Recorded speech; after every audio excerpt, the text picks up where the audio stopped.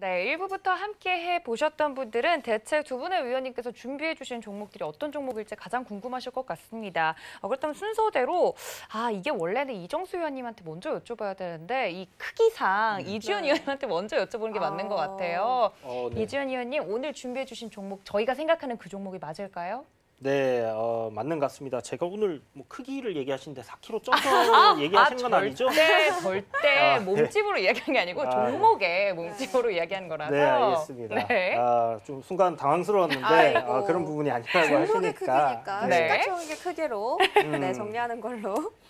자, 어, 제가 준비한 종목은 여러분들이 생각하시는 그 종목이 맞습니다. 어, 기아차고요. 네. 어, 오늘 사실 이 종목이 이제 어, 연휴 동안에 제가 이제 좀 눈여겨 봤던 종목인데 어, 너무 괜찮은 뉴스들이 많이 나오면서 어, 7%면 시가총액 대비해서는 굉장히 어유 그럼요. 강하게 상승이 나온 부분이라 좀 네. 어, 여러분들께 이제 어, 추천드리기 약간 부담스러운 부분이 있는데 아까 이종수 전문가님께서 말씀해 주신 것처럼 기아 자동차가 지금 신고가를 넘어간 이런 흐름은 어, 정말 의미가 크다라고 생각을 해야 될것 어. 같아요. 그리고 어, 차트를 조금 음, 클로즈업해서 제가 보여드리면요. 네. 어, 지금 5만 원대 이 저항 라인에서 최근에 한 두 번의 어, 저항이 이렇게 있습니다. 누가 봐도 쌍봉인가 하는 모습을 만들어내고 주가가 조정을 받았단 말이에요. 그런데 이 가격대가 어떤 가격대냐? 차트를 쭉 이렇게 늘려서 보시게 되면요.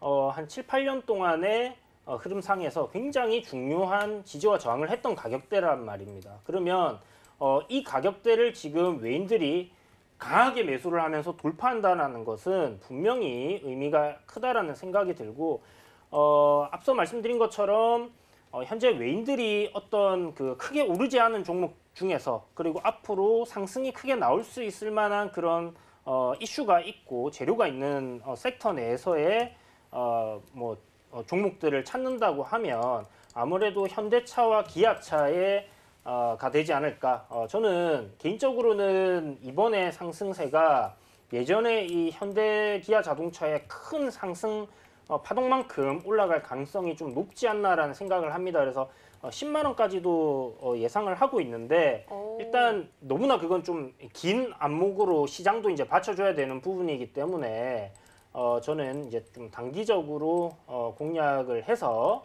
어, 한 8천, 아, 5,700원 정도. 그러니까 아, 5만 7천 원이죠. 5만 7천 원 정도.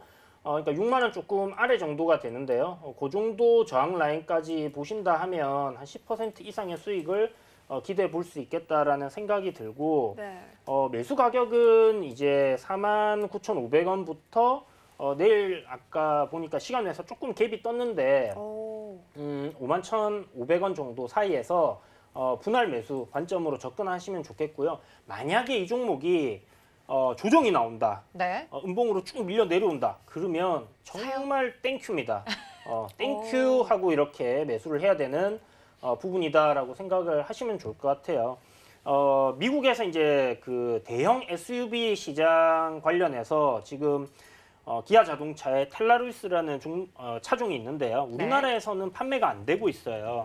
근데 어, 미국에서 생산해서 미국인들에게 이제 판매하는 어, 그런 자동차인데 이 자동차가 이제 시작이 한 3만 2천 달러부터 이제 시작을 해서 어, 한 4만 5천 불, 어, 옵션에 따라서 한 5만 불 정도 되는데 보통 미국 시장에서의 대형 SUV 같은 경우는 가격이 4만 불부터 시작하는 경우들이 많고요. 어, 그에 대비해서 싼 가격에 이제 저렴한 가격이죠. 저렴한 가격의 옵션이 기본적으로 어, 다른 차종들에게 어, 크게 이제 풀옵션 가까이 이렇게 좋은 옵션들이 많이 달려 있다 보니까 어, 굉장히 선호를 받고 있는 상황입니다. 그래서 지금 판매율이 1위고 어, 요 차종을 이제 어, 사려고 하면 6개월을 기다려야 되는 그런 상황이라고 해요. 그래서 네. 어, 팰리세이드 이제 미국에서 히트를 쳤는데 그 네. 다음으로 지금 굉장히 크게 히트를 치고 있고 이 대형 SUV 시장에서 미국에서 우리나라 자동차 회사들이 1위를 한다는 점이 굉장히 의미 있게 받아들여야 되는 부분이 뭐냐면요. 미국은 자동차 시장 중에서 가장 큰 시장이 이제 소형 트럭하고 네. 그리고 가족들 패밀리카입니다. 네. 그래서 보통은 이제 우리나라에서 이제 음, 좀 많이 타시는 차들 중에 기아의 그 카렌스 같은 차들 음. 어, 가족들이 좀 많이 타는 차잖아요. 근데 네. 미국 같은 경우는 이런 대형 SUV를 좀 선호를 하는데 어, 지금 현재 기아 자동차에서 나온 뭐 사양들 그리고 가격대 그리고 AS 그리고 지금 하고 있는 광고를 제가 이제 찾아서 봤었어요. 네. 근데 이 미국 사람들의 그 마음을 어, 움직여요? 마음을 움직일 수 있는 어. 진짜 그런 어, 취향 저격이었군요. 취향으로 네. 지금 광고를 잘 만들어 가지고 판매를 하고 있기 때문에 사진만 봐도 너무 멋있네요, 차가. 네 그렇죠. 어, 저도 사고 싶은데 우리나라에 안 나오더라고요. 그러니까요. 그래서 이제 그 기아 자동차 같은 경우는 제가 봤을 때는 이렇게 우상향 트렌드를 만들어서 오르락 내리락 하면서 계속 상승할 가능성이 높다. 음. 어, 9%의 그 점유율 제가 봤을 때는 어, 기아 자동차 어, 한 10% 넘는 어, 한 15% 가까이도 점유율을 확대할 가능성 굉장히 높지 않을까라는 생각이 와, 들고요. 네. 어, 현대차, 기아차를 잘 봐야 되는 부분이 이 플랫폼 시장 그러니까 어, 전기 자동차의 플랫폼을 가지고 있는 곳이 복스바겐하고 어, 현대기아 자동차밖에 없습니다. 어, 그런 부분에서 어, 지금 외인들 어, 기아차와 현대차 굉장히 적극적으로 매수를 하고 있고요. 기아차 같은 경우는 외인들이 지금 보유하고 있는 지분이 한 31% 정도 되고 현대자동차는 38% 됐는데요. 삼성전자 같은 경우 한번 봐보시면 어, 55% 정도 되죠. 어, 그렇기 때문에 어, 좀 집중적으로 매수가 이루어질 가능성이 높고 그렇다면 주가 상승 굉장히 크게 나올 가능성 높다 이렇게 예상이 되고 있습니다.